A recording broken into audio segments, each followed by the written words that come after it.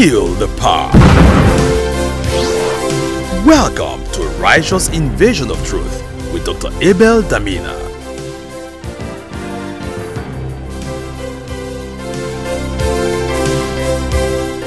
Hello, brothers and sisters. Welcome to the ever increasing word feast. Always my joy and my pleasure to serve you the grace of God right here on this consistent broadcast that we have held on for many years now. Abel Damina is my name. The intent of these teachings brought your way every time, every time, many times a day, is to equip you because the essence of ministry is to equip the saints to do the work of ministry that the body of Christ may be edified. And it's always an honor for me to serve you the grace of God. Today is going to be explosive as together we fellowship in the word of his grace. But just before we get into the service, I want to call your attention to a new book I just wrote. The book is titled Every Man a Minister, responding to the call of God. Ministry is the highest form of calling. It is the honor Jesus bestows upon every believer along with salvation. The call to ministry is not a different encounter or experience. It is the same as the call to salvation. Many believers today are found with the excuse of not being called to ministry. They claim they have not seen a vision or had any experiences. They are. Every believer is called. In this book, get ready to unlearn and relearn as I examine dutifully the will of God, salvation through the ages, how the believer is to fulfill the plan and purpose of God on earth, salvation as a call to the ministry, consecration in ministry, the cost of the cause, the role of the local church, ministry gifts, and the evolution of ministry gifts in the book of Acts. You will also discover that the local church is a place for discipleship and training for ministry. That is upon salvation. Men are taught the scriptures and trained to serve, which is ministry. This book is a must have. That is to say, you don't have to wait to hear a voice, to see a light, or to see an angel, or to hear some thundering. No, the day you got born again was the day you were called into ministry. This book will equip you with all you need to answer to that call, to fulfill that call. So when you see Jesus, when the sun is no more, the moon is no more, the rains are no more falling, and this planet is gone, when mortality puts on immortality, and you see Jesus, you will not be ashamed at his coming. You need to call the office quickly and place an order for this book. And of course, it's appearing on the screen right now. The number to call and the email address to send a mail to ordering for this book for yourself and for other people you want to put into their lives. This book will change your life. Let me also mention that if you watch my teachings and you've been following my teaching, and where you live, there is no Christocentric church where you will go and hear the message of Christ. You've looked around, no church there is able to serve you the message of Christ like we do. We would like to help you either start a campus or identify with a campus that we have in your area. We will train you, equip you, and work with you until the campus is started in your community so that there will be a lighthouse in your community for other people to come to the knowledge of Christ. All you need to do today is shoot a mail to the email address on the screen right now or call the number and let me know that you want to start a campus or you want to join any of our campus. A campus is an extension of our church, it, like what you call branches. We don't call them branches in Power City, we call them campuses all over the world. You want to be a part of this team? Shoot a mail today. The email address is on the screen. I want to take you right now into the service, into the teaching of God's word. Make sure you have your pen, your notebook, and your Bible. It's going to be exciting as we adventure through the riches of redemption. Enjoy the service and be blessed.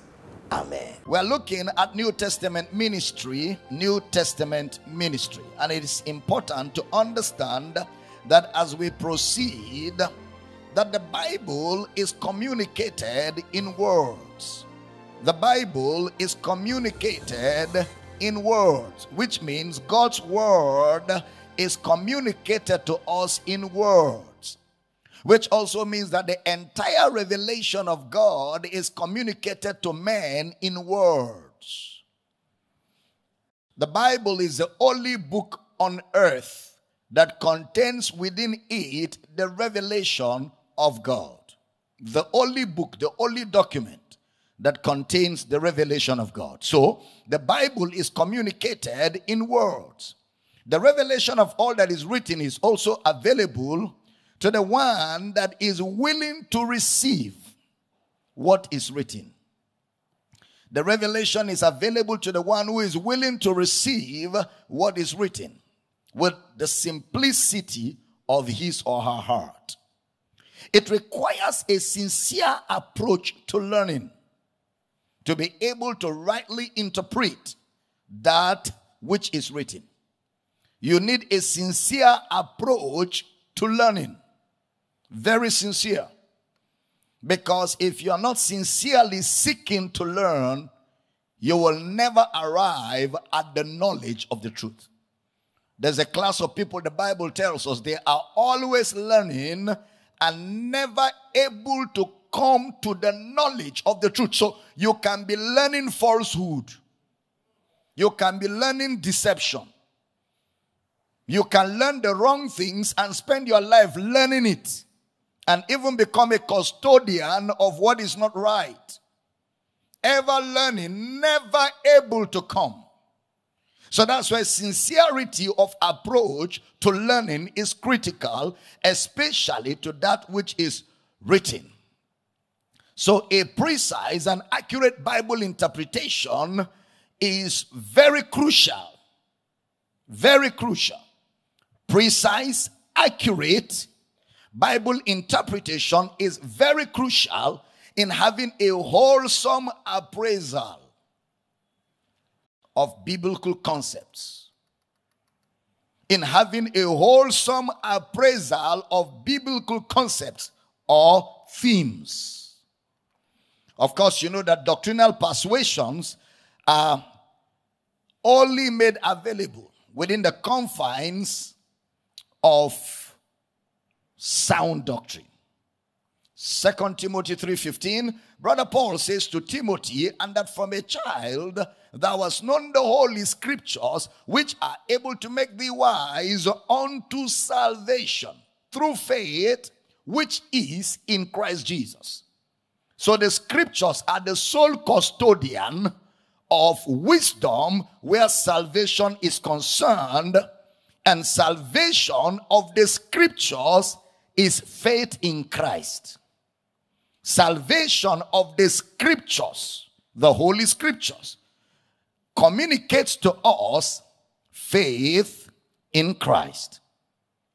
Diligence, therefore, will entail paying attention to every and any detail. Paying attention to every and any detail, taking into consideration the fact that the Bible was written in human language and can be understood and interpreted in human language. The Bible is not written in heavenly language. The Bible is written in human language. Therefore, it has to be interpreted in human language and communicated in human language. However, this will require taking into cognizance the central theme of the Bible which the Spirit of God unveils to us that the central theme of the Bible is Jesus Christ. Jesus Christ. In Luke chapter 24, Jesus had a conference or a Bible study with his disciples, and this gives us a lead into how the Bible is interpreted. Had a very detailed conference after his resurrection in Luke chapter 24. And while these guys were walking on their way to Emmaus, Jesus walked among them and said to them, What are you guys discussing? You look so serious. And they said to Jesus, Are you a stranger in town? Have you not heard about the guy called Jesus who was killed the other day? And Jesus said to them, What, what, what events are you guys talking about? Oh, yeah, they went ahead and rebuked him.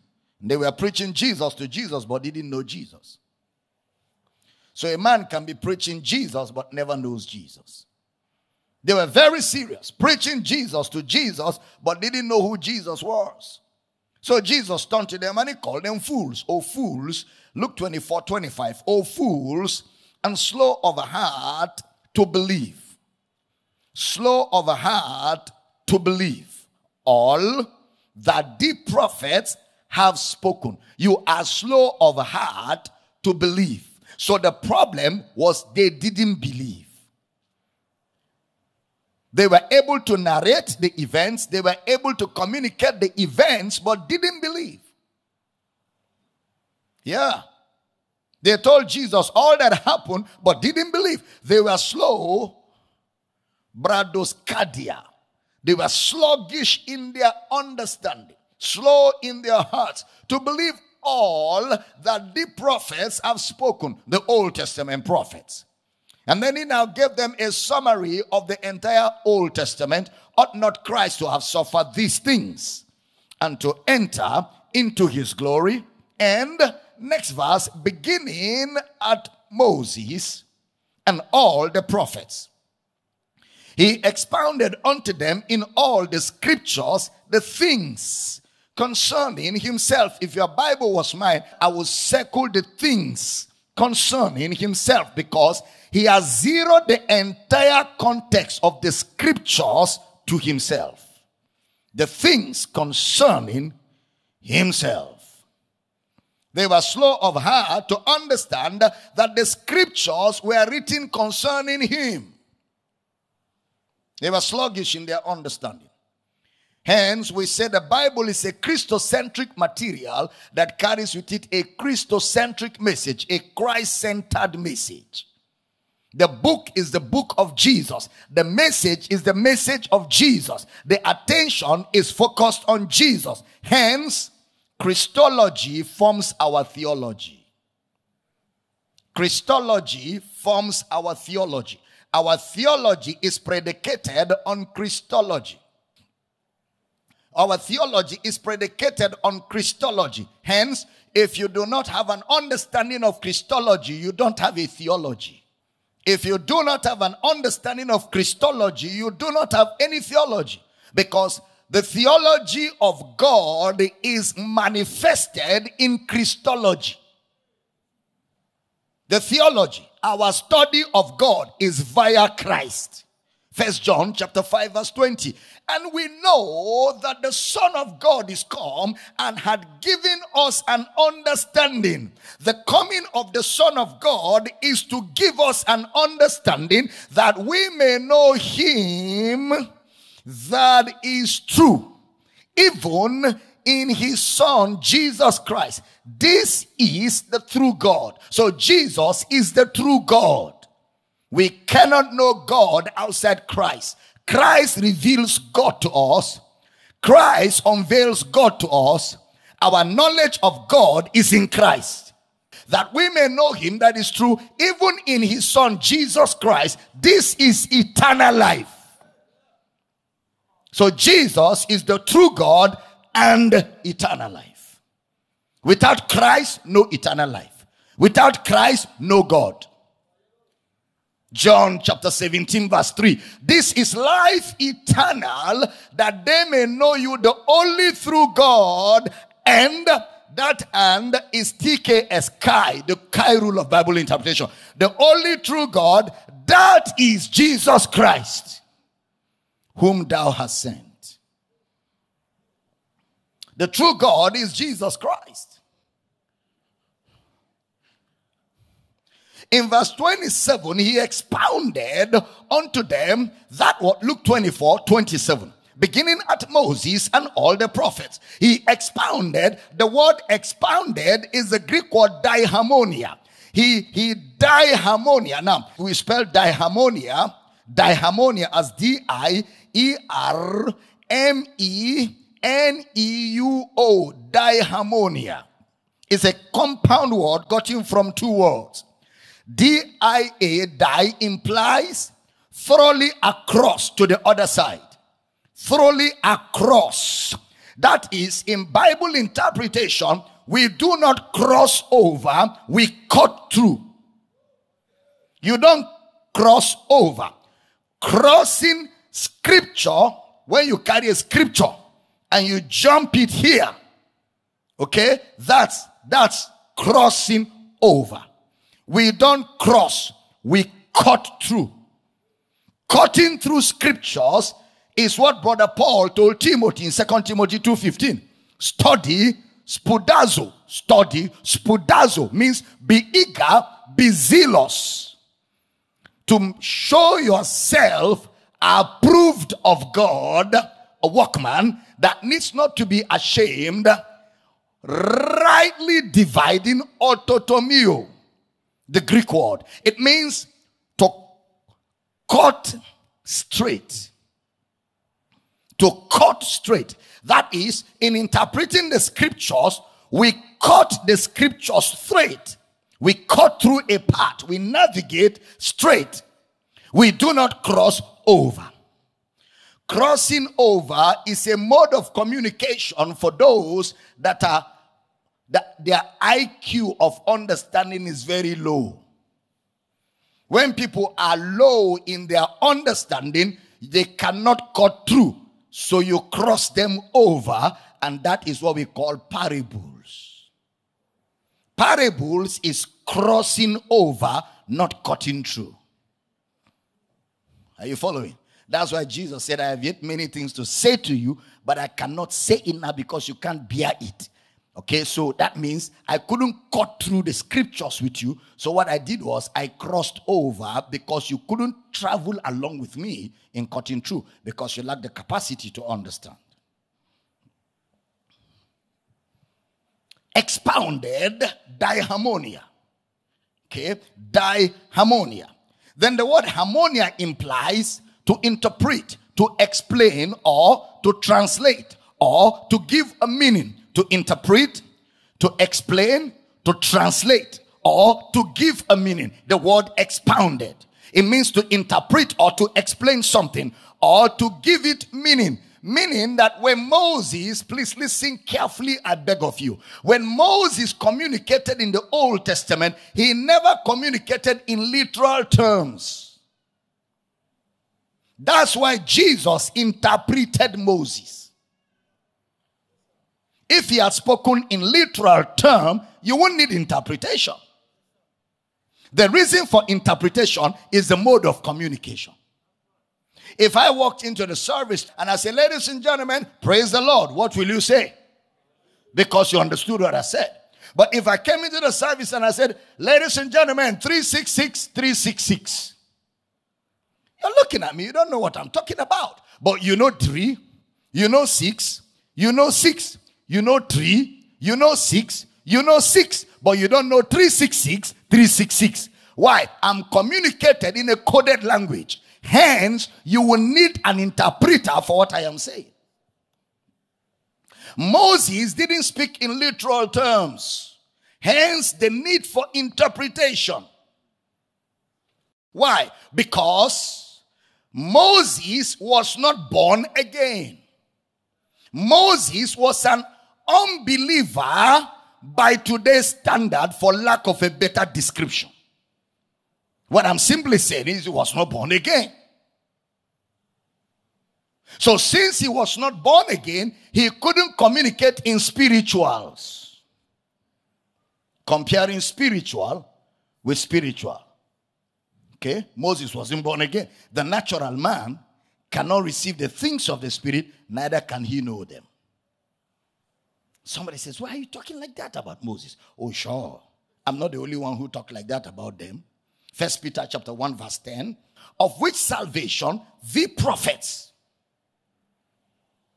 The prophets mean all the Old Testament prophets have inquired and searched diligently who prophesied of the grace that should come unto you. So they prophesied of the grace that was coming, Moses inclusive.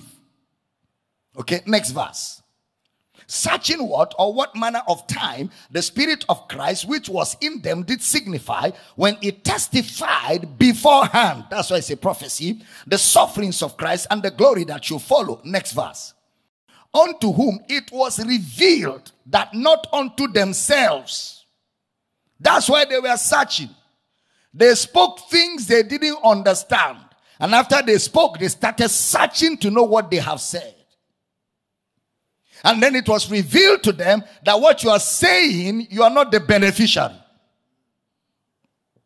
those that those words are meant for are still coming. And today they are here.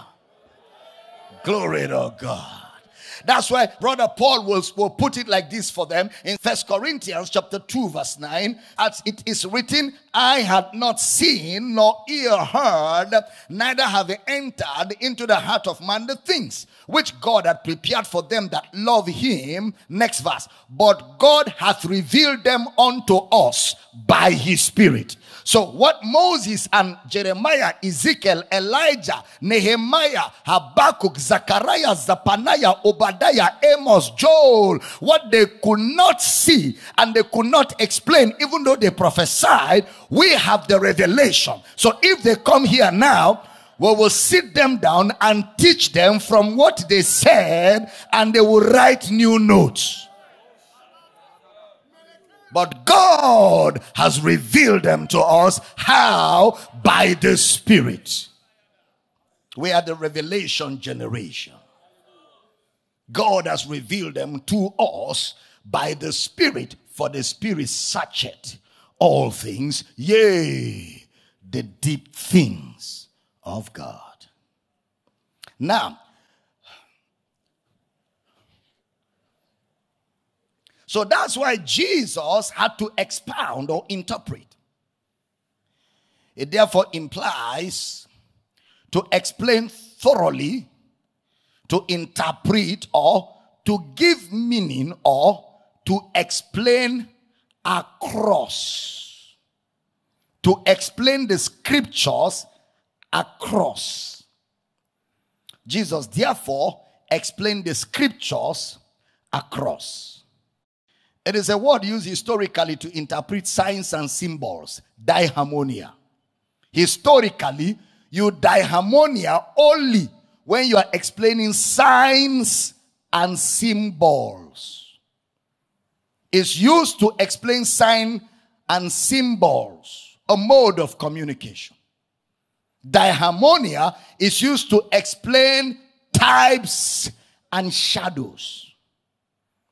You cannot employ the use of diermeneuo except there has been a communication in types, shadows, signs, and symbols. So when there is a communication in types, shadows, signs, and symbols, you employ the use of diermeneuo to bring people to understanding. Are we clear? Yeah, diermeneuo. He interpreted. He interpreted Moses he interpreted the prophets.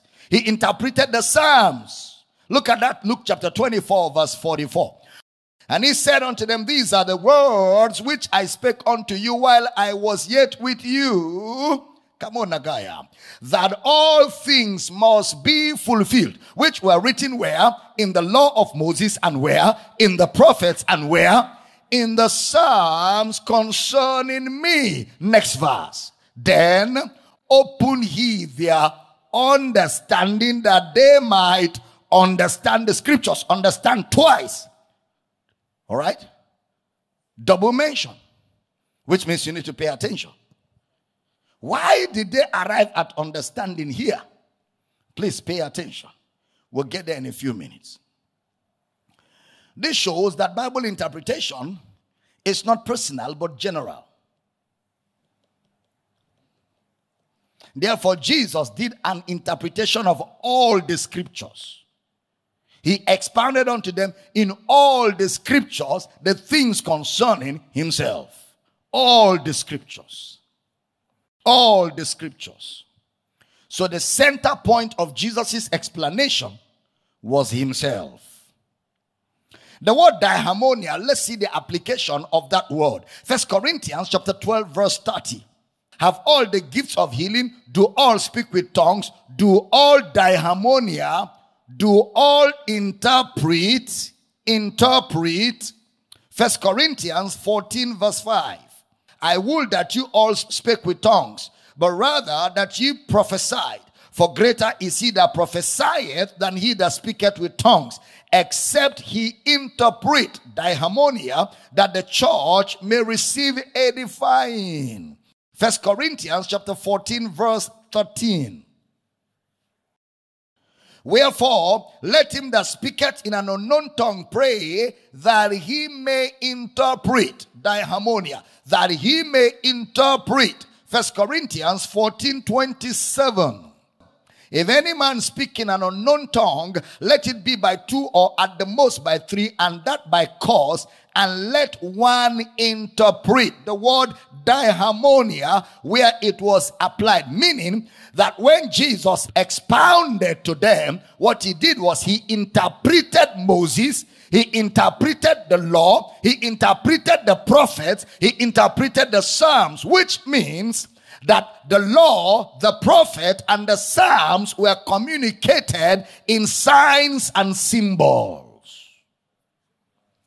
And that's why you cannot take them hook, line, and sinker and apply. Because the interpretation of what was communicated is not at face value. It requires somebody to decipher what they were trying to say. Are we clear?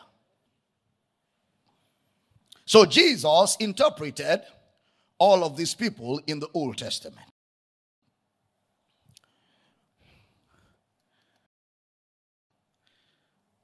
Concerning me, expounded in all the scriptures the things concerning him. The word concerning, concerning, was translated from the Greek word peri, P E R I, peri. Peri is an operative word. It implies an arrival point. An arrival point. That means when he took Moses and took the prophets, he brought all of them to their point of arrival. What was their point of arrival? Himself. That all Moses was trying to say was Christ. All the prophets were trying to say was Christ. So Christ is the destination of the prophets. Christ is the destination of the law. Christ is the destination of the Old Testament. All of the Old Testament was a journey to arrive at Christ. Peri, concerning himself, arrival point. Arrival point. Glory to God arrival point. So all the speaking of the prophets have a destination, himself. So all the prophets spoke and their arrival point was Christ. Glory to God. John 1:45. See what Philip told Nathanael in John chapter 1 verse 45. Philip findeth Nathanael and saith unto him, we have found him of whom Moses in the law and the prophets did write, Jesus of Nazareth, the son of Joseph. The son of Joseph. He's the one everybody wrote about. He's the one everybody was talking about. So, ladies and gentlemen, ministry is not ministry until it is focused on the message of Christ. Once you are in ministry and your focus, your mainstay is not Christ, you are in something else that does not have a Bible definition. We didn't say you are not doing something. You are doing something, but it does not have a doctrinal definition. Yes, people can be falling. Yes, people can answer altar call. Yes, you can have a crowd. Yes, they can give plenty offering. Yes, you can have a building with cars and buses. But it does not have a doctrinal accommodation. Once it is not concerning him, and I'm not talking about using the name of Jesus to open prayer and close prayer. No, that is a label you are advertising with. We are talking of content. That the content in the container must be Christ. Even if it doesn't have a label. What matters is not the label, is the content, the mainstay. The church is called the ground and the pillar of truth. That means it is the headquarter where the concentration is truth. Who is truth? I am the way, the truth, and the life. So, the content of ministry that makes ministry ministry must be Christ from beginning to finish. If it is not Christ, it has no Bible definition. What you're doing may have a secular definition, but it certainly doesn't have a Bible definition. And this is not to make you feel bad, but it is to put the truth in your face. So if you need to make adjustments, you can start quickly. We read 2 Timothy 3:15 and it tells us that salvation is faith in Christ. Faith in Christ. So the Old Testament can only be explained in the light of Christ. The Old Testament can only be explained in the light of Christ because Moses and the prophets and the Psalms spoke of him. So if we're going to explain Moses and explain the prophets, it will be in the light of Christ. Once you explain the Old Testament outside Christ, you will end up in idol worship. Yeah. Because Jesus is the peri, the arrival point of all the prophets. Ladies and gentlemen,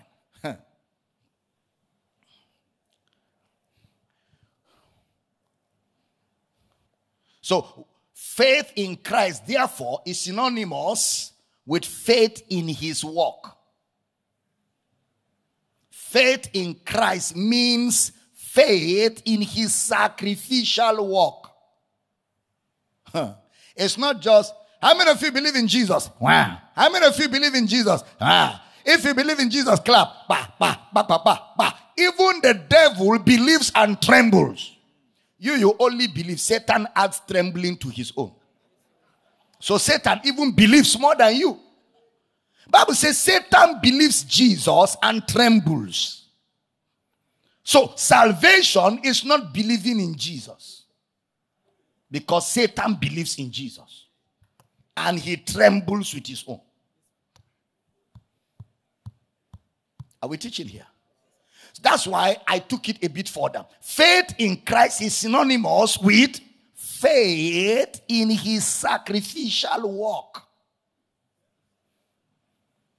So it's not just faith in Christ. You believe in Jesus? Yes, I do. If you believe in Jesus, clap your hand. But, but no, no, no. It is, it is synonymous with his sacrificial work. So faith in Christ is actually faith in his sacrificial work.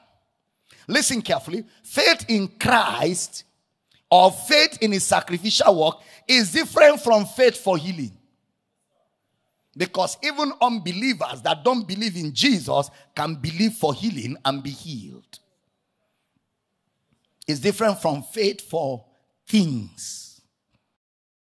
Faith in Christ is absolutely faith in his sacrificial work death, burial, resurrection. That woman with the issue of blood who touched the hem of Jesus' garment wasn't saved because she had faith for healing. She said, I know if I can touch the hem of his garment, I know I will be healed. And she touched him and she was okay. That's not salvation. Most of the people Jesus healed were not believers. All. All the people Jesus healed in the Gospels, none of them was a believer. In fact, one of them emphatically told him, I don't believe, but just help my unbelief. And Jesus healed him. So, all those teachings on 10 keys to healing is fraud. There is no key to healing. Healing is God's character. You don't need a key for God's character. Healing is God's nature. Anywhere God is revealed, healing happens because that is his character. Healing is God's nature. It's God's nature. The man at the pool, he said, I've been sitting here for 38 years. I have no man. I'm waiting for the pool, the moving of the water, so that I can jump in. But every time I'm about to jump in, people that are better than me jump in. I have been sitting here seeking to enter the pool for 38 years. And Jesus said to him, Will that be made whole? So that means that pool didn't heal anybody. That pool was a myth. Mythos. There was nothing in the pool. Nothing. Nothing was inside the pool.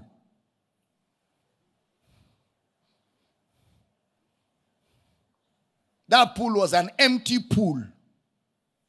If anybody got healed inside, it was just an accident. It's not because there was something inside. Because nothing could have been in the pool when Jesus was around. Jesus was already on earth moving. So nothing will be in that pool. The real attention is on Jesus. That's why Jesus came to the pool and said, Gentlemen, what are you doing here? Because there's nothing here. The real thing is here. Will that be made whole? I have no man. Ah, man? You don't need a man. The, man. the man is here. He said, when they push, he said, You are talking about water. He said, Yes, nobody to push me inside. Do you want to go home? The man is still talking. He said, Stand up, carry your mat and get out. The man carried his mat and walked away. And Jesus left the pool because there was nothing in the pool and went about doing good and healing all that were oppressed of the devil, for God was with him. So that pool was a Jewish mythos, it was a myth, like a superstition. The real healer is Jesus, and he was already on earth. So he can't be on earth and another pool is healing for him. No, he's the healer. There are many myths in the Bible that has to be explained. And don't forget the book of John, where the pool was recorded, is not a doctrinal book, it's an eyewitness account. That is what John saw people do and he recorded it. It's not doctrine. That's why no apostle had a pool. No apostle built a pool. In case you're thinking of building one, you will just deceive yourself. No apostle in the Bible built a pool. Paul didn't build a pool. Peter didn't build a pool. James, John, none of them built a pool because there's nothing about a pool. We heal in his name. Peter and John met the man at the gate beautiful. Silver and gold have we none, but such as we have, we give unto you. In the name, in the name of Jesus, rise up and walk. The man stood up and got out of that place. And they were looking at them like some superheroes. And Peter said, Why look ye on us as though by our power or by our holiness has made this man to walk? This man's faith in the name has made him strong in the presence of you all. The faith is that is by him. The man believed in the name.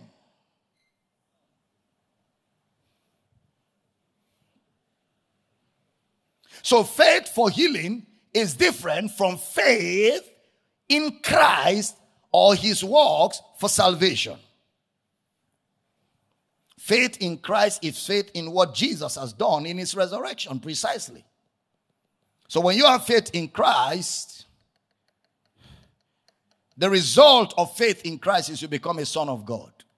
John 1 12, as many as receive him, to them gave he power to become the sons of God. Hallelujah. The word diermeneuo is very key to me because we are trying to get you to understand how the New Testament ministry functions. The Bible is divided into two compartments by the translators. You have the Old Testament, you have the New Testament. Old Testament, Genesis to Malachi. New Testament, Matthew to Revelation. That's the way it is technically divided.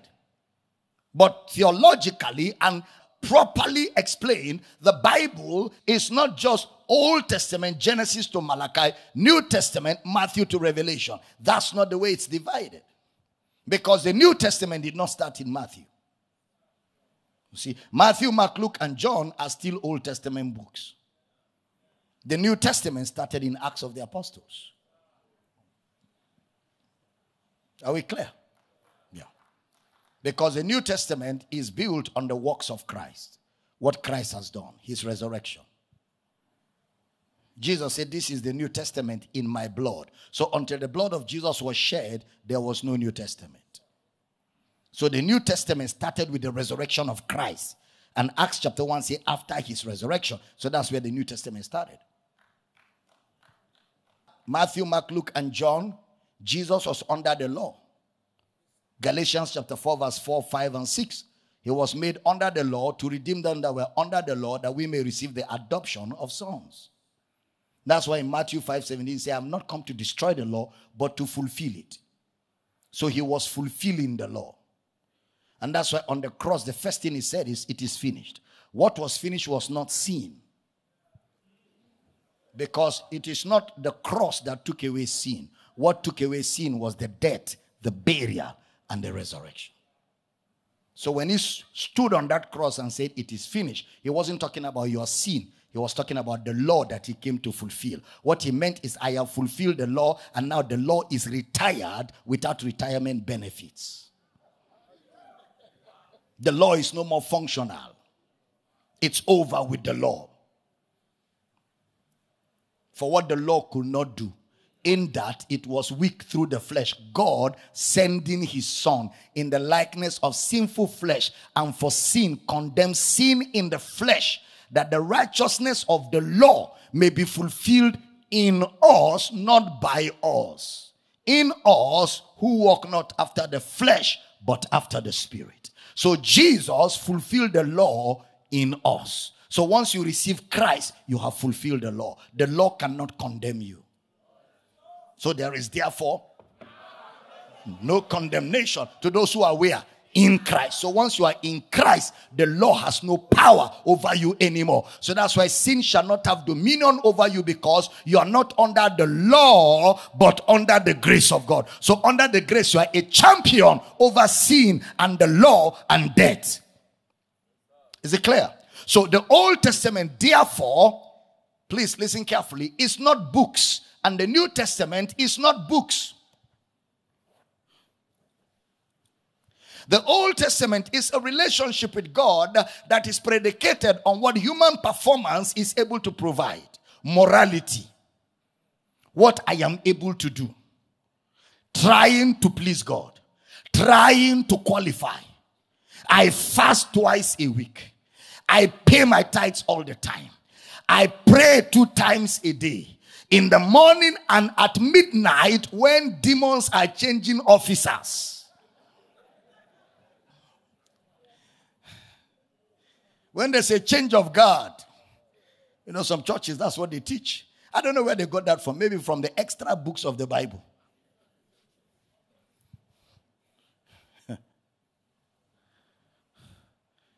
and the Bible says, Jesus loving him looked at the young rich ruler, a Pharisee, who has qualified himself by the law.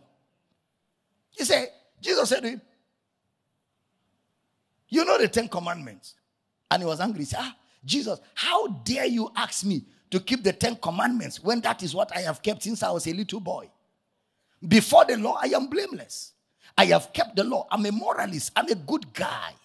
That I come to you doesn't mean I'm a sinner. It's just that I have discovered that you're a good man and you have what I don't have. What shall I do to inherit eternal life? Jesus said, Okay, since you have kept the Ten Commandments, go and sell all you have he kept all the Ten Commandments, but he didn't take care of greed. And under the law, if you break one, you break all. So he had taken care of visible sins, but didn't take care of invisible sins. Because greed is invisible. So Jesus sized him up and saw that, okay, this guy is good in everything physical. Let's go into the sins of the heart.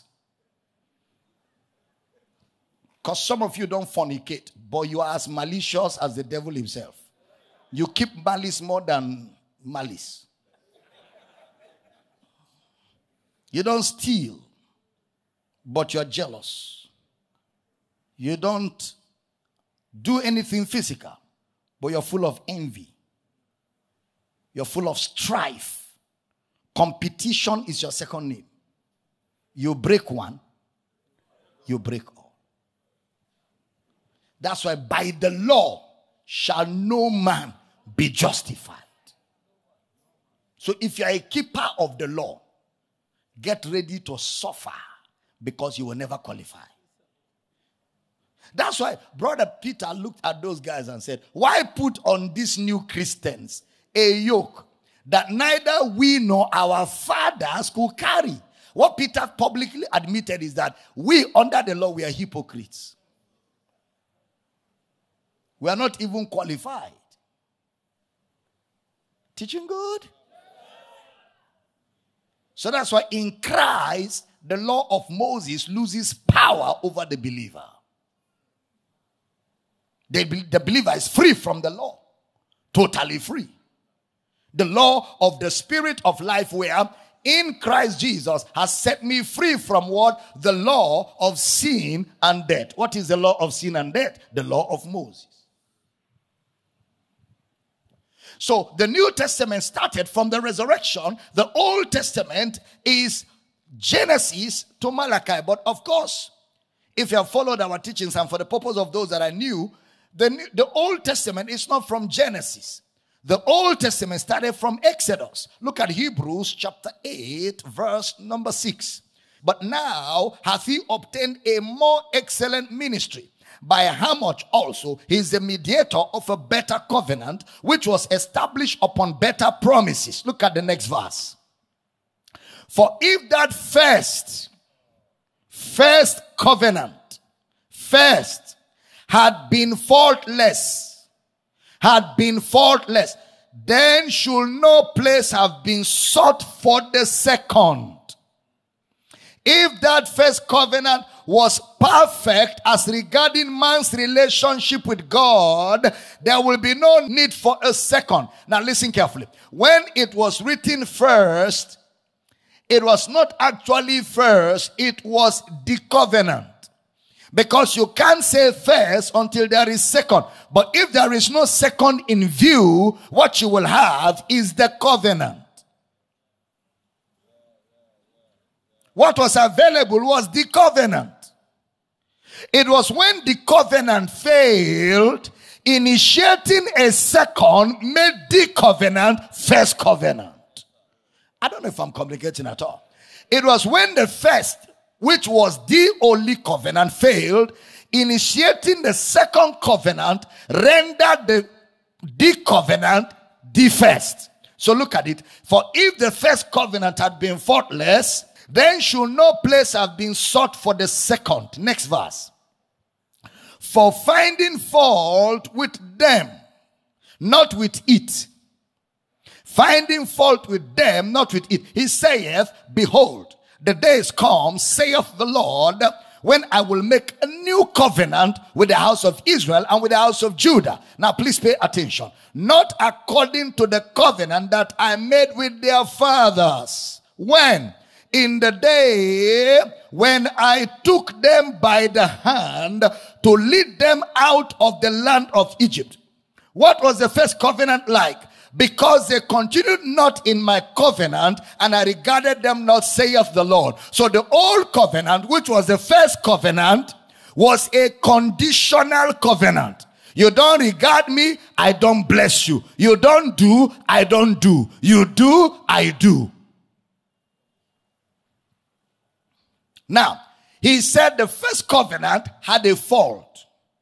Then he said the fault is that it found fault with them. It was a fault finding covenant. That is, under that covenant, no matter how good you are, it will find fault with you. Under that covenant, you can never be perfect. Oh, you can never be perfect under that covenant for it found fault with the people. That is why Hebrews chapter 10 verse number 1. For the law having a shadow of good things to come and not the very image of the things can never if your bible is your own you didn't borrow it from your neighbor use your pen and underline can never can never means can never. No matter how many animals you kill and bring to the altar, you remain a sinner. No matter how much you confess your sins, you are still a sinner. Why? It can never, with those sacrifices which they offered year by year, continually make the comers thereunto perfect. It can never. Look at the next verse. For then will they not have ceased to be offered because that the worshippers once purged should have had no more conscience of sins. But look at the next verse. But in those sacrifices, there is a remembrance again made of sins every year. Look at me. So every year they are bringing the animal, they remember their sins. So the animal sacrifices generated sin consciousness. That is what confessing your sin does to you. Every time you confess your sin, it gives you sin consciousness. And sin consciousness takes away your boldness. And when you have no boldness, you cannot approach the Father. What bringing animals to the altar every year was to them is what confessing sin today is to anybody who confesses sin every time he prays. If bringing animals would have taken away their sin, they wouldn't have stopped. So the same thing, confessing sin cannot take away sin. The cure to sin is not confessing sin. The cure to sin is Christ who took away the sin of the world. So the cure to sin is confessing Christ. That's the cure. Behold the Lamb of God. He took it away. So if I want to be free from sin, what do I do? I confess the taker away of the sins. So God's cure for sin is Christ. God's cure for sin is Christ. God's cure for sin is not confessing sin. Confessing sin is a ritual under the law. Every year they were bringing it. Now, get back to that Hebrews chapter 8 and look at this. Now, remember that the first covenant found fault with them. Look at me, everybody. Please give me your attention. How many of you have realized in the study of the scriptures that the only place you will find the mistakes of the heroes of the Old Testament is in the Old Testament? Have you observed that? Who was Abraham? Using the Old Testament eyes to look at Abraham. Who was Abraham? Elijah? Huh? Idol worshiper? Huh? An adulterer or womanizer? Polygamist? How did you know that? Old Testament. Who was David? Uh, uh, why did you do ah? Uh, okay, I will see how you will talk about the next one I want to call. But let's settle. How was David? Eh? Murderer? Womanizer? Wife snatcher? Eh? Yahoo, Yahoo. Yahoo man.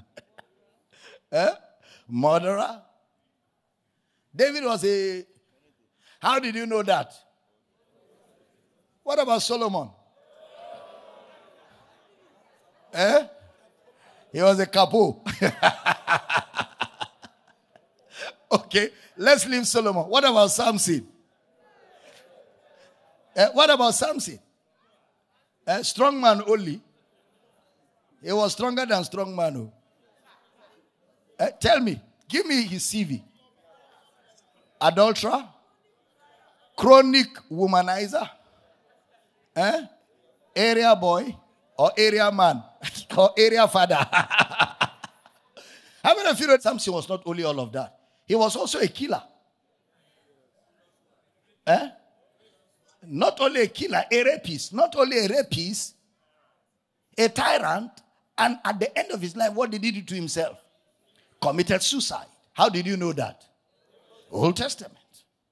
What about Moses? Moses. Moses, Moses. What about Moses? Murderer. What again? Anger. What again? Stammerer. Liar. What else? Yes, he was hot tempered. Huh? Lawgiver. huh? Lawbreaker. How did you know that? Old Testament. Okay, let's cross over. In the New Testament, who is Abraham? Father of faith.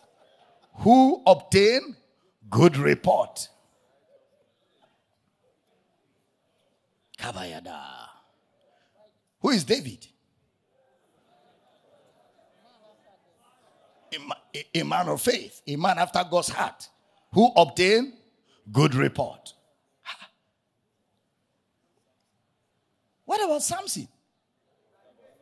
Father of faith, who by faith obtained good report. My goodness. What about, wait, wait, there's somebody I omitted. Because it's not only men.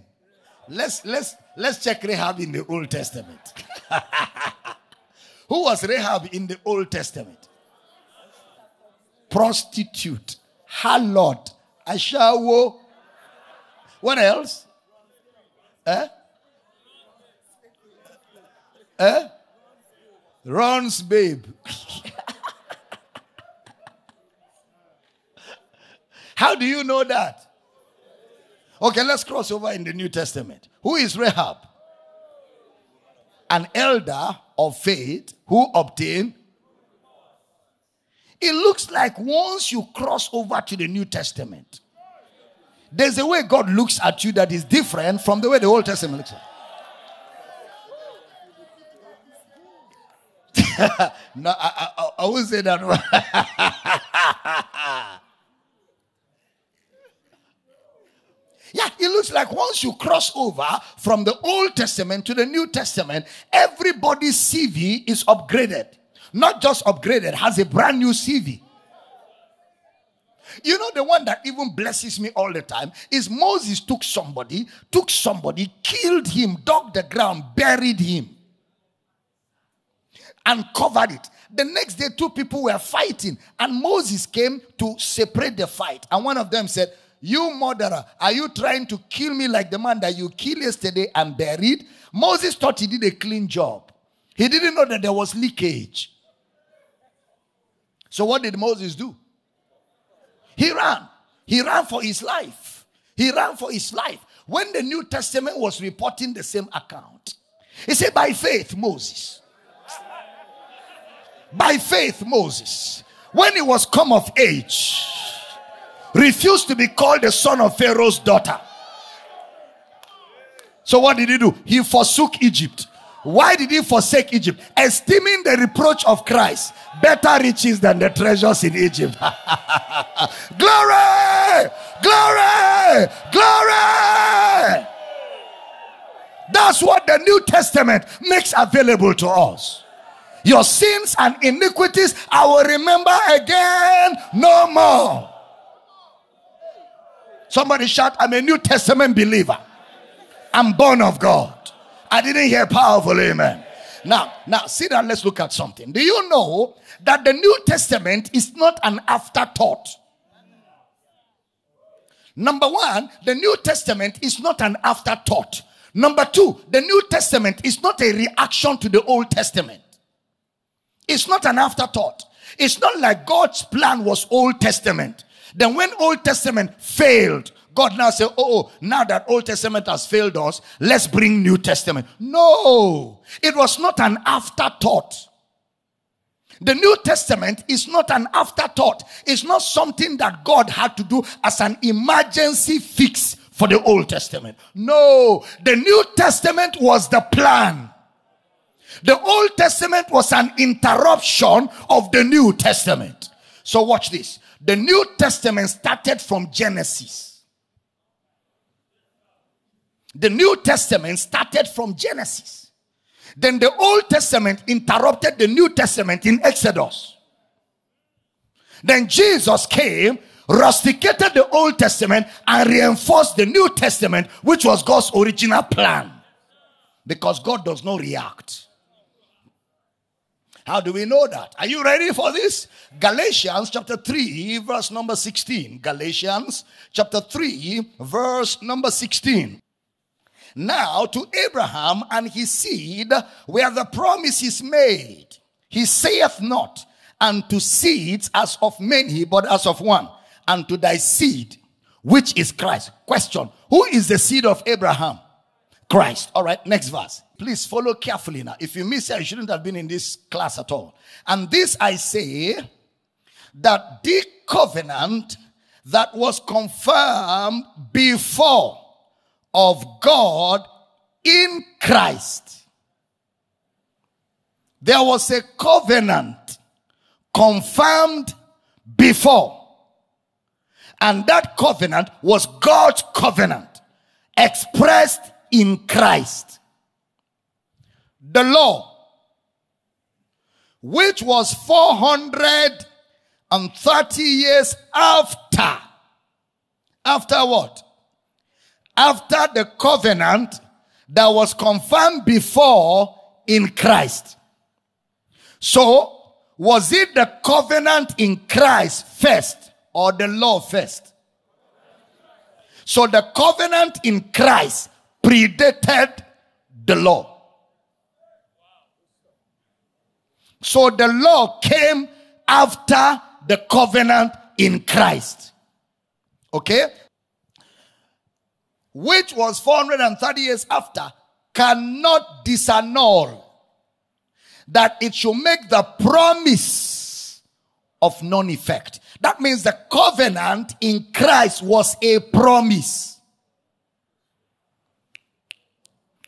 That means that covenant in Christ that came before the law was a promise.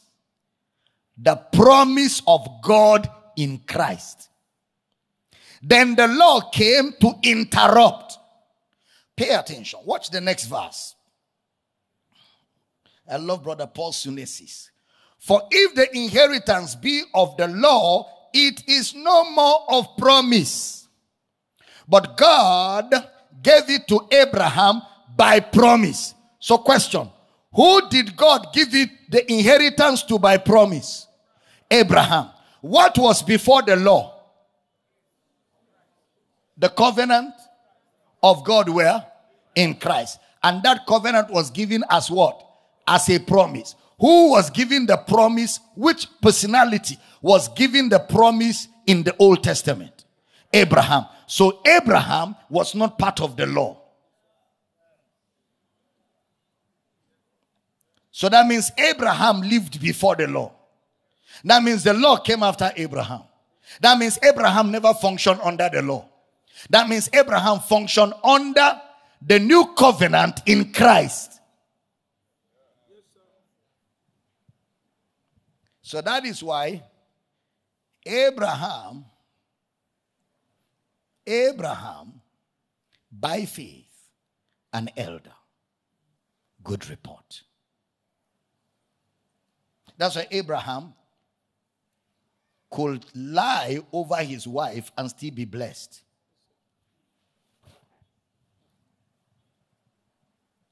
Does God tolerate lies? No. But there was no law to tell Abraham that lying was wrong. So, since there was no law, his lie was not a sin.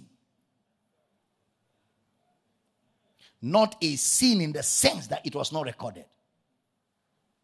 Look at Romans chapter 5, verse 13. For until the law, sin was in the world, but sin is not imputed when there is no law. So people were sinning, but they were not punished because there was no law. If I drive through this road every day to work and there's no traffic light, I can drive at any speed level because there's no traffic light. Okay? And nothing is wrong. But the moment you introduce a traffic light here, and I'm coming with speed as usual, and I see red and I go, what happens to me? I've broken the law. So what happens to me? I'm arrested. Okay? Because now there is a law. When there was no law, nothing was wrong. So it is the arrival of the law that defines sin and its consequences. Before the law came, people were sinning, but it was not recorded. There was no law to hold men accountable. So that's why Abraham operated before the law. And before the law, he was a righteous man. Moses was also a righteous man because Moses gave the law but didn't operate under the law. The law was not for Moses, the law was for them. You know, every time Moses spoke, he kept saying, You. The Egyptians, you see, not we see. No, you. Me, I'm not with you people. You are under the law, I am under grace. So the Egyptians you see today, you will see them no more. I don't know if I'm teaching here. Because Moses, oh, yeah, yeah, yeah, yeah. Moses did not operate under the law. Why? Because Moses had Christ. Moses had Christ. So he gave them the law because they didn't accept Christ. The law is not for believers. First Timothy chapter 1 verse 9. Knowing this that the law is not made for a righteous man the law is not made for a righteous man, but for the lawless and disobedient, for the ungodly and for sinners, for unholy and profane, for murderers of fathers and murderers of mothers and menslayers. The law is not made for the righteous. The law is made for sinners. Why is the law made for sinners? Because sinners are those who reject Christ. Once you receive Christ, the law is not for you. Why? Christ fulfilled the law, so you are free from the law. So you stand fast in the liberty wherewith Christ has set you free and don't be entangled again in the yoke of bondage. The Old Testament is what we call the law. So listen, Genesis is not Old Testament. Genesis is New Testament. Exodus to Malachi, by extension, Matthew, Mark, Luke, and John are Old Testament. Acts to Revelation, New Testament continuation from Genesis.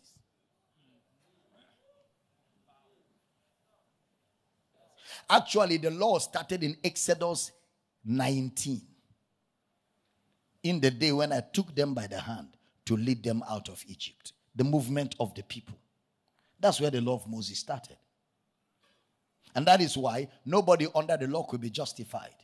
It was the law that therefore necessitated the coming of Christ because Christ had to come and fulfill that law so that men can be justified by faith.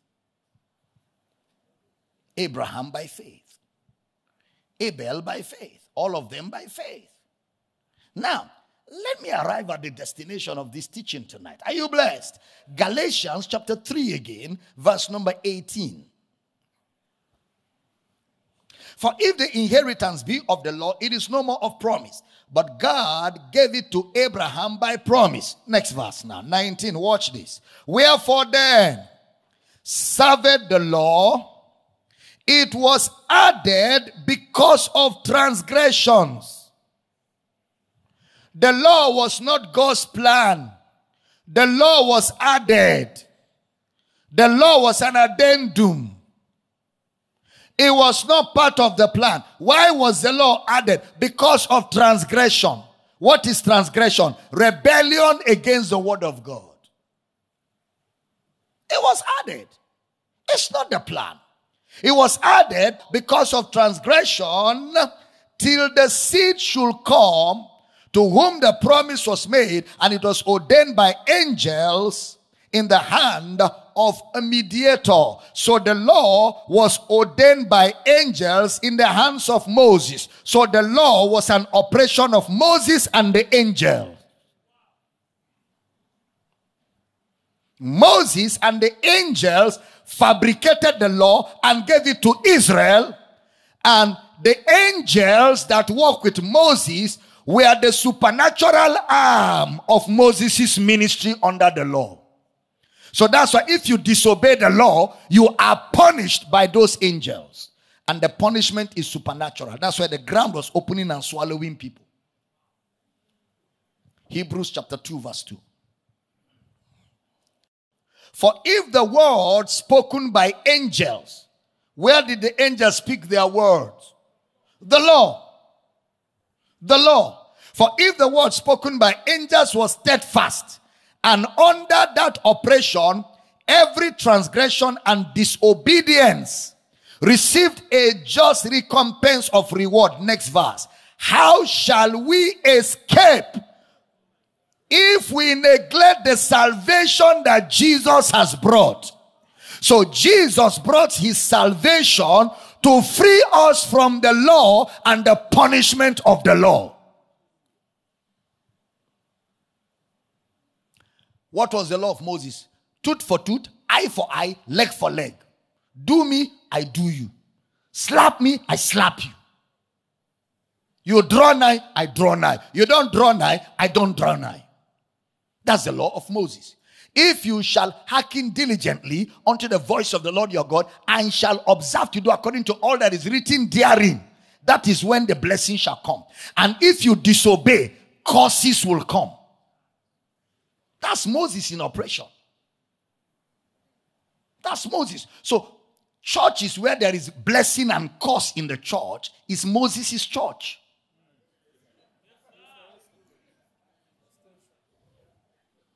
Because that's the way Moses operates. Under Moses is blessing and curse.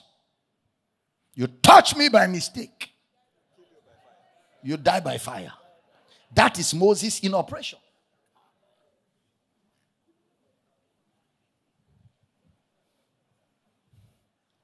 My father, my father, anyone looking for my trouble, be roasted.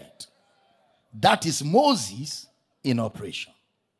Because under Moses' ministry, every transgression and disobedience received a just recompense of reward. You can't go free.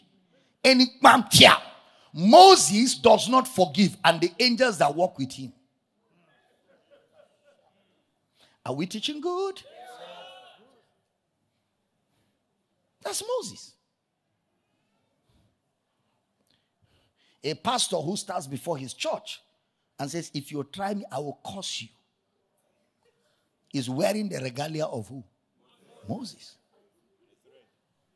It's Moses. That's not Christ. That's not Jesus' ministry. That is Moses' ministry. Kabayada. I'm getting blessed, I'm telling you. John chapter 5, verse 45. Do not think that I, Jesus, this is Jesus talking, I will accuse you to the Father.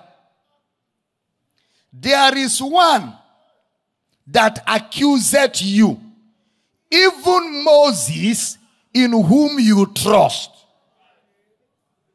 Who is the accuser of the brethren? Moses. Even Moses, in whom you trust. He's the one that accuses you. He's the one that condemns you. He's the one that makes you guilty.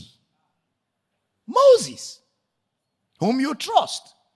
Jesus is talking. Now look at the way Jesus will end that discourse. Next verse. For, Pastor Cole, look at this one, you like it. For had you believed Moses, you would have believed me, for he wrote of me. Uh-uh.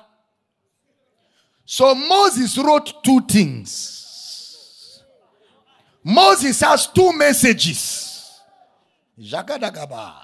Moses preached Christ and preached accusation.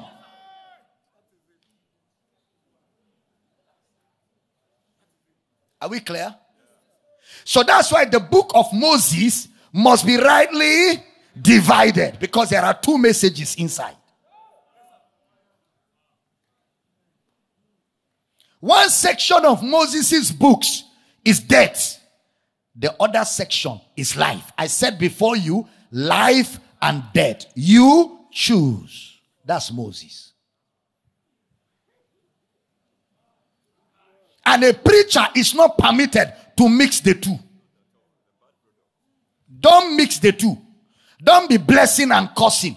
My brother, can sweet and bitter water come out of the same fountain?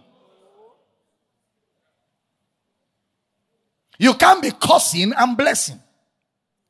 You're either a blesser or a curser. Light and darkness cannot operate in the same house. Moses preached Christ and accusation. Moses himself said, If now that I am with you people, you are behaving like this, how much more when I go? He said, You are a froward children in whom there is no faith. So because you don't have faith, take law. Moses wrote the law. It was not God that wrote the law. The law of Moses is not God. The law of Moses is Moses' property. John 1 17. For the law was given by Moses, but grace and truth came by Jesus Christ. Question What does Jesus bring? Grace and truth. What does Moses bring? Law. What follows the law? Sin and death, condemnation, guilt, accusation. What does Jesus bring? Grace, which is truth. Matthew chapter 5, verse number 28, because of time. Follow the reading. I'll read, then I will explain. Let's start from 27. You have heard that it was said by them of old time, Thou shalt not commit adultery. But I say, who is saying now? Jesus, okay? Who are those that said of old time? Good. But I say unto you that whosoever looketh on a woman to lust after her hath committed adultery with her already in his heart. Next verse. And if thy right eye offend thee, pluck it out and cast it from thee. For it is profitable for thee that one of thy members should perish, and not that thy whole body should be cast into hell. And if thy right hand offend thee, cut it off and cast it from thee. For it is profitable for thee that one of thy members should perish, and not that thy whole body should be cast. Who said this? Eh? Who is Jesus quoting? Moses. Wait, 31. What Jesus was saying is if you people are really following the law of Moses, there should be people with amputated hands among you, and people without eyes among you.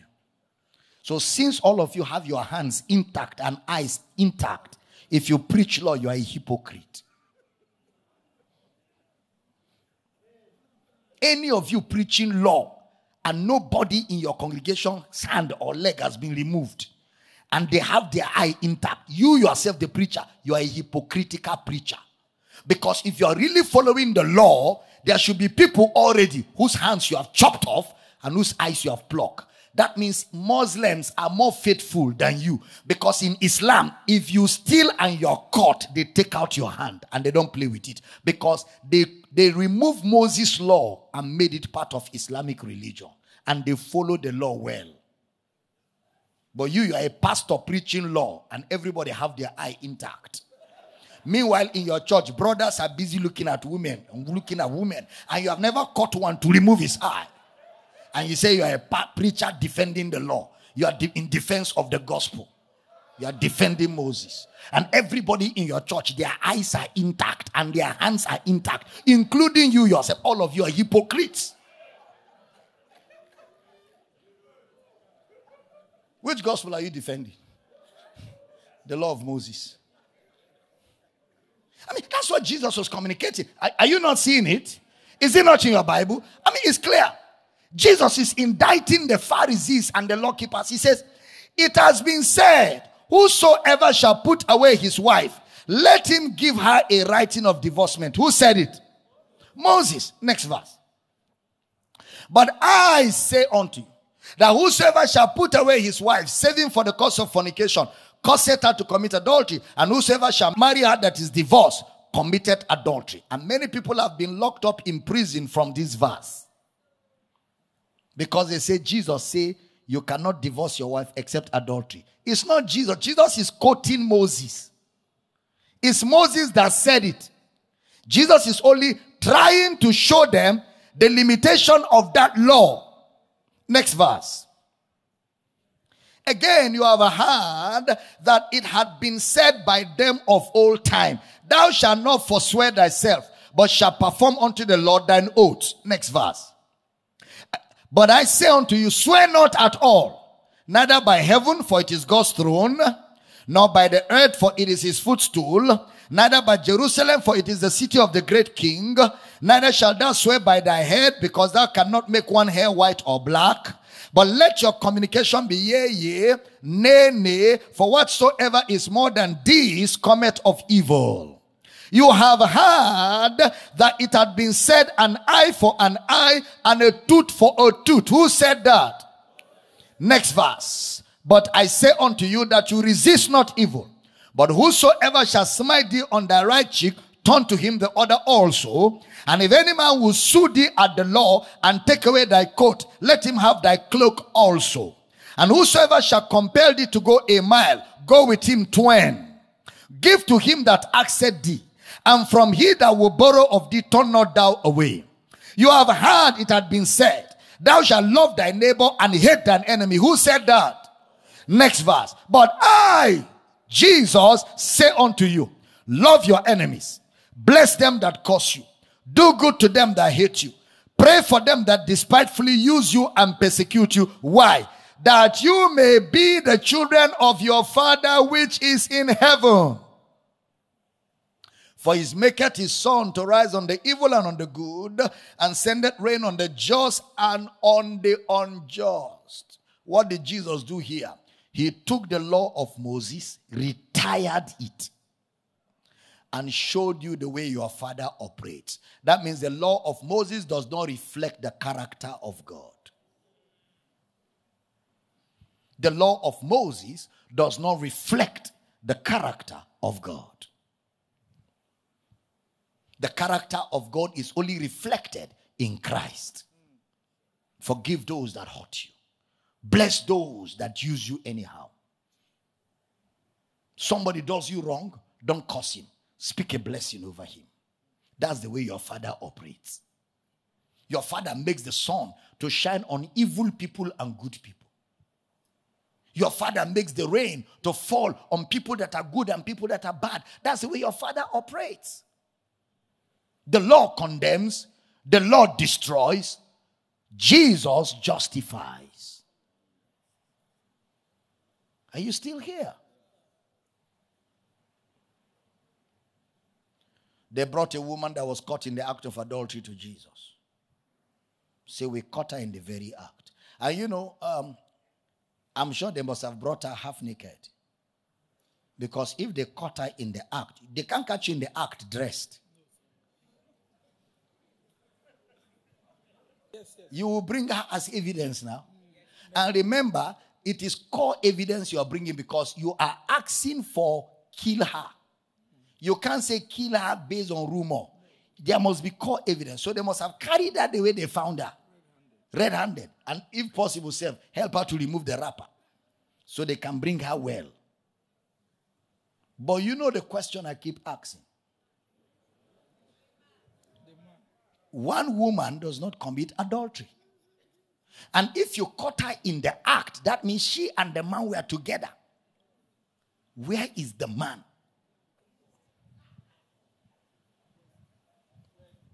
There is no justice in the law. The law is lopsided. The law does what we call selective morality. Selective morality. You know what selective morality is? People that are under the law, the area where they have strength, they announce and amplify it. The area where they are weak, they hide it. When nobody is there, they do their own. Then when they come out to the public, they display the other side. They are careful sinners. people that are, people that practice the law are careful sinners. They commit sin carefully. because I mean, can you imagine? You caught these people in the act and you only brought the woman. Only the woman. And you know the law is anti-women.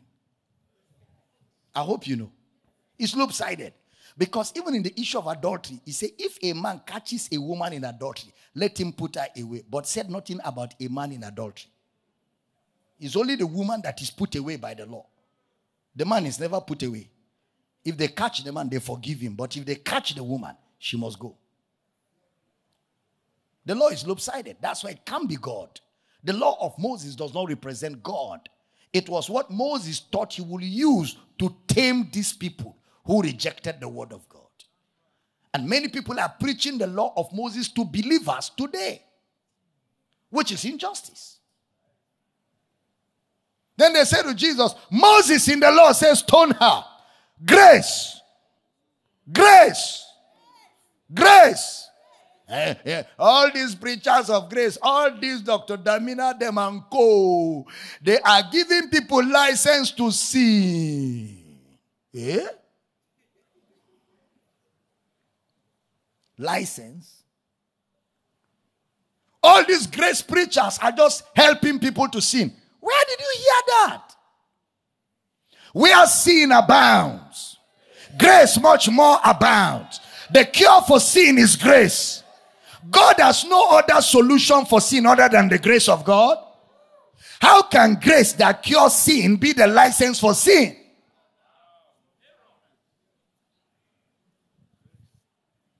The grace of God that has appeared unto all men to bring men to salvation.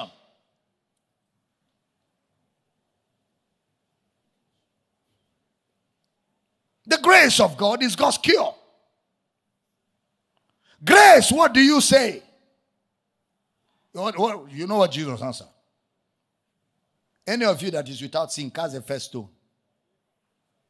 You, all of you here, if you have never done anything bad, throw the first stone. Then they started meditating. One by one, they started remembering their little, little things that are hiding. And they were dropping the stone and leaving. After the last person left, Jesus lifted his eye. Woman, where are thine accusers? Do not think that I will accuse you. Where is thine accusers? Had no man condemned thee? Yea, Lord, no man has condemned me. He didn't say prostitute. He didn't say fornicator. He didn't say adulterer. He says woman. No matter where you are, God never takes away your dignity. No matter how wrong you get, God never deshines you. He never disgraces you. Because he does not condemn. He said, I am not come to the world to condemn the world, but that the world through me might be saved. Woman, where are thine accusers? Had no man condemned thee? Yea, Lord, neither do I condemn you. Even though there is evidence, I do not condemn you. God never condemns. Anytime you're condemned, Satan is at work. God never condemns. Neither do I condemn you. And he didn't tell her confess it.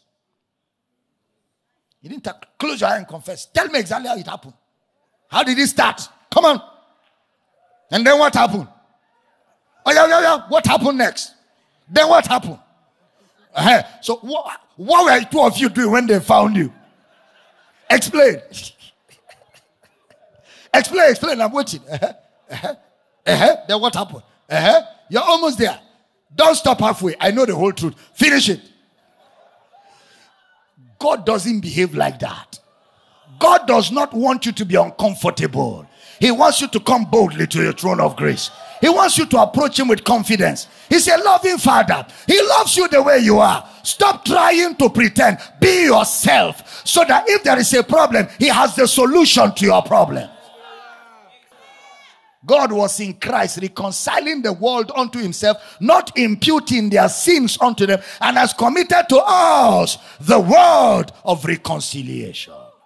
That's the gospel to preach it on the mountaintop, preach it on the valley, preach it in the house, preach it on the streets, preach it on television, preach it on radio, preach it on the internet. Somebody shout, I have something to preach. It is the gospel of Christ. I didn't hear you shout that amen like thunder. Stand on your feet. That's all I've got for you. Neither do I condemn you. Go and sin no more. Uh, and then, you know, Pastor Code, the legalists will say, but, but, but, yes, even though Jesus did not condemn her, Jesus still told her, go and sin no more. Go and sin no more. Go and sin no more. It's true that Jesus did not condemn her, but don't leave the other side. Which side? Go and sin no more. Go and sin no more. They like that side. Go and sin no more. Uh, that's not how it ended. After he told her, Go and sin no more, he now told her, I am the light of the world. He that followeth me that means the solution to sin is to follow me. Shall not walk in darkness, but shall have the light of light. So if you're not going to sin again, then follow me. It didn't stop at go and sin no more. The only way not to sin no more is to follow me. I am the light of the world. That's what we call the gospel. It is the gospel of the forgiveness of sins. Praise God. Lift your right hands, Father. We pray Thank you for every man, every woman of God, every pastor, every minister of the gospel here under the sound of my voice. I ask that each one hearing the sound of my voice leaves this place on fire to preach this gospel like never before. In the name of Jesus. Kabayon Tungaladabahat. Zebra. Mengro da Sokala da Baba. Le groto socolo de bambre gadoza kila namaha. Mengolo dobo jekele de babra. Rapota le badaga. Wherever you're hearing the sound of my voice, online, around the nations of the world, in the building here, receive boldness to preach the gospel. Receive boldness to preach the gospel. Receive utterance. Receive utterance. In the name of Jesus, platforms open up for you to preach. Receive platforms opening up for you all over the nations of the world in the name of Jesus. I rebuke the voice of condemnation. I rebuke the voice of fear. I rebuke the voice of inferiority complex. Lose your holds in the name of Jesus. Cabo Dagaya. Cabo. Listen, everybody, there, there, there are about two ministers here I want to pray for. The devil has been using certain things, and I don't want to get specific, but I know exactly what I saw. The devil has been using certain things to drum into your mind to make you incapable of ministry. Every time you want to rise and move in, the devil will bring those thoughts and it weakens you. Even when you are trying not to be weakened, it still weakens you.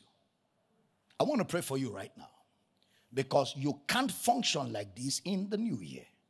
You can't. Wherever you are, I need you to come quickly. I want to pray for you right now, right now, right here. Zekoto. He keeps bringing those things to your mind.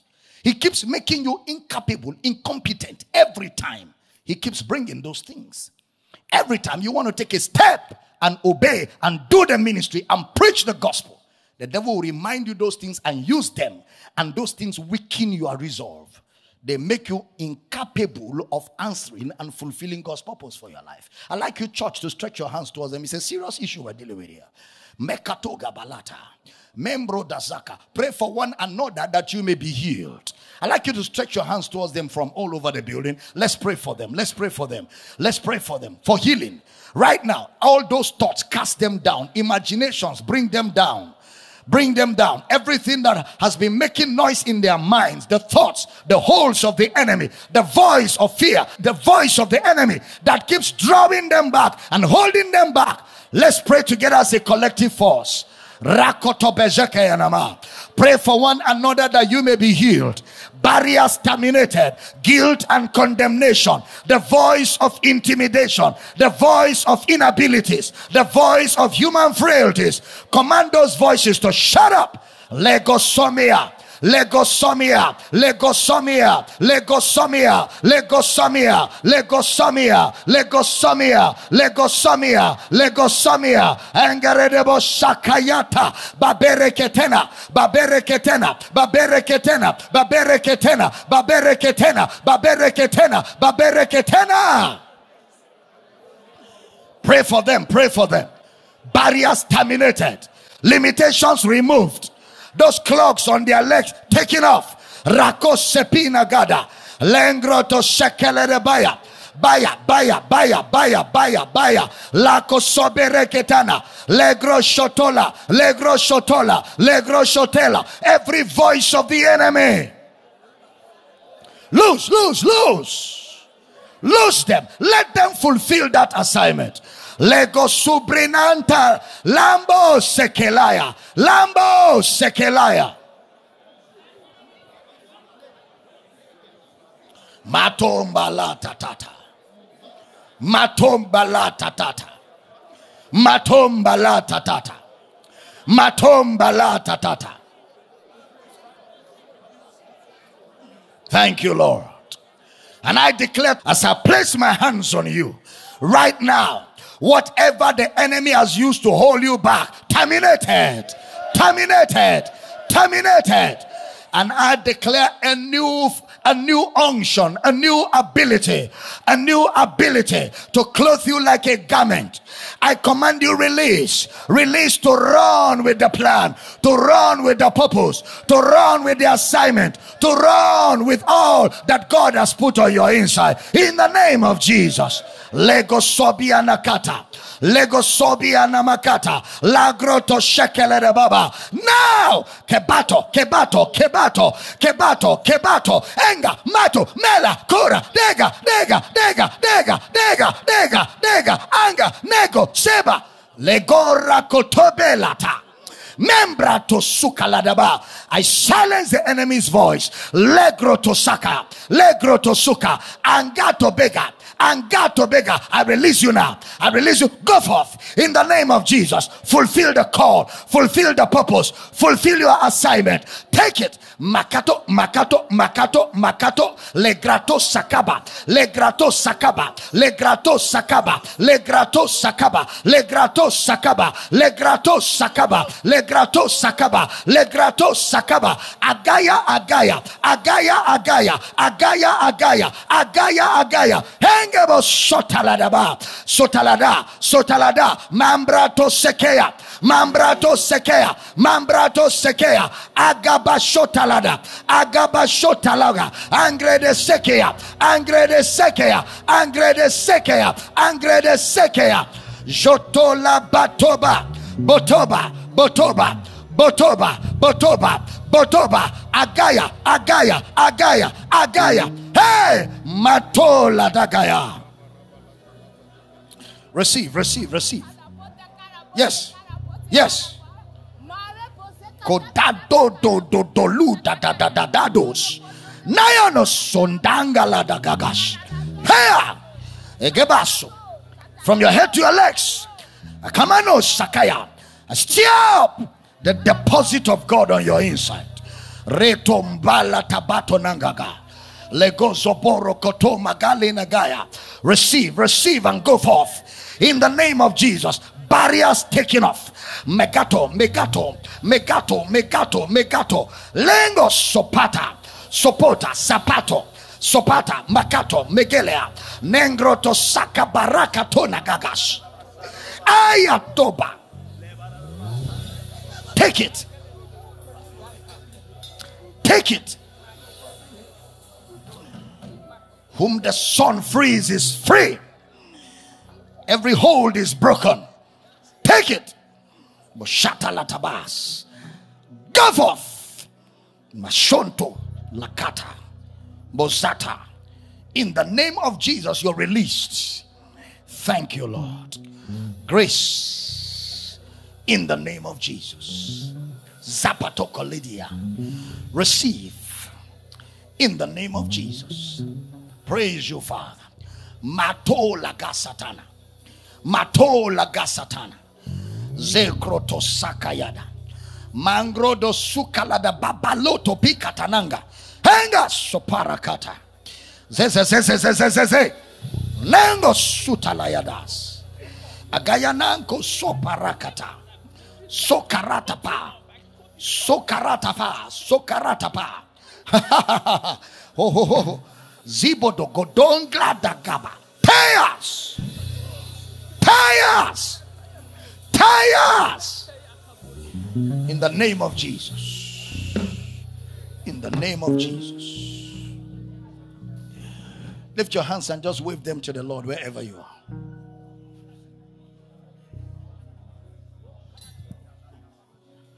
Listen to me carefully.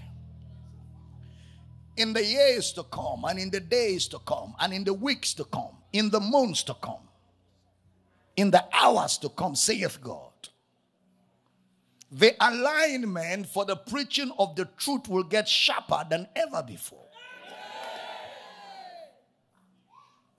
It will get sharper, saith God. It will not be like it used to be, where the light and the darkness looked like they were mixed. It will be so sharp, you will know those that are sincerely in the ministry and those who are clowns in the ministry. Saith God, the message will come out with clarity men and women who have spent hours, saith God, of consecration, hours of prayer, hours of dedication, and hours of preparation, I have granted them an understanding of my word like never before, and they are going to proclaim it without fear or favor, and my word is going to rise big among you and among the people in a way where it will be so obvious and so clear the distinction. The distinction between truth and falsehood, the distinction between light and darkness, and the distinction will be very sharp. Saith God, you give yourself wholly, wholeheartedly, and totally to my cause and I will rise big on your inside, and through you manifest my glory and my grace like never before. And as you yield, as you yield to me, I will show you things you've never known. And I will give you all the preparation and equipping that you require to manifest my glory like never before. Saith God, there will be more and more demands made on you for ministry. Hours of study, hours of prayer, hours of consecration, sacrifices upon sacrifices in preparing you for the days and the years and the weeks of the preaching of the truth of the gospel.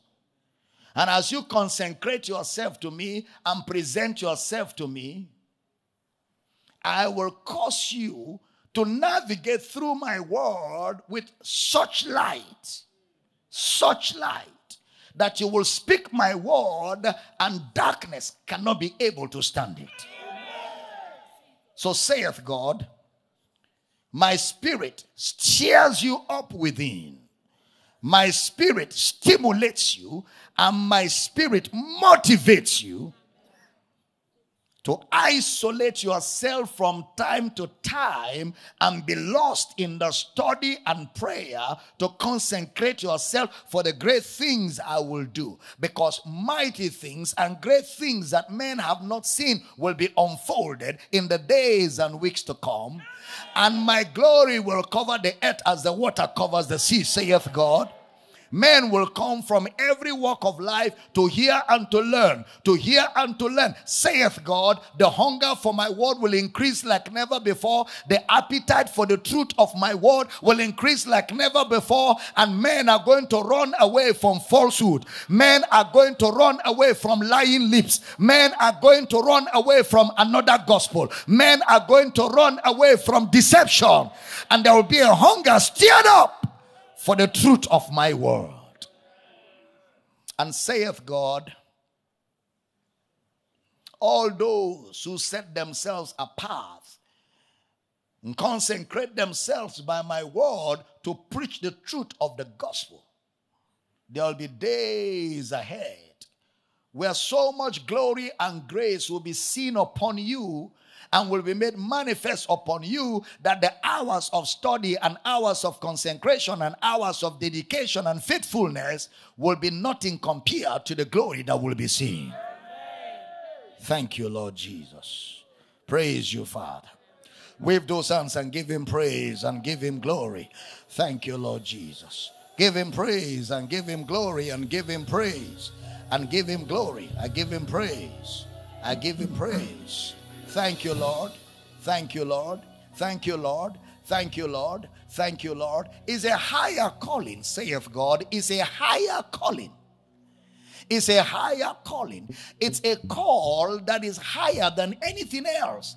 A call to bring forth my grace and bring forth my glory and reveal my glory and power to a world that is in dire need of knowing me. Is a higher call. And that is why the sacrifices are high.